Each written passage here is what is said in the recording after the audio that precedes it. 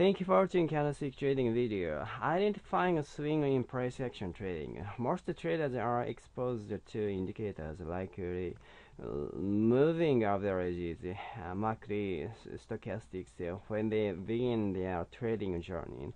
However, one thing to more is that indicators are mostly lagging by nature because they are dependent on price data on a chart. It is more beneficial for traders, especially when building a high probability trading plan, to understand the leading indicators and how to combine them with the lagging indicators.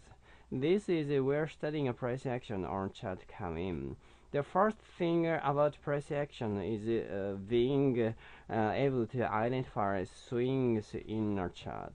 swings are a significant turning point on a chart, usually in the form of peaks and uh, through. Uh, they are usually common around the key support and resistance level. Uh, swings are variations in the number of candles.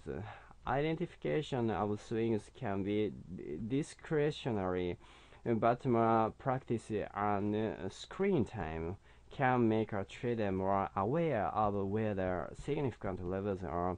Uh, once swings have been identified, the next step is to uh, level them.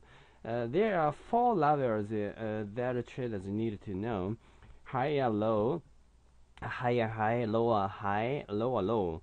The key thing to note when leveling swings is that you must only compare it to the most recent previous swing, not the two or three swings before.